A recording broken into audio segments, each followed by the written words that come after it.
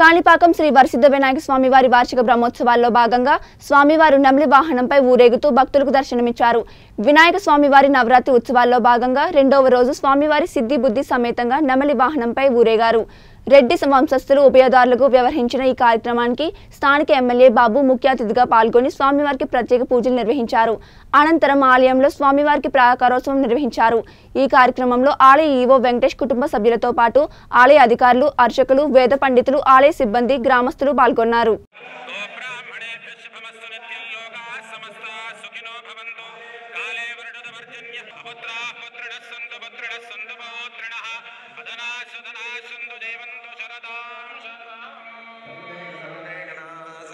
Lord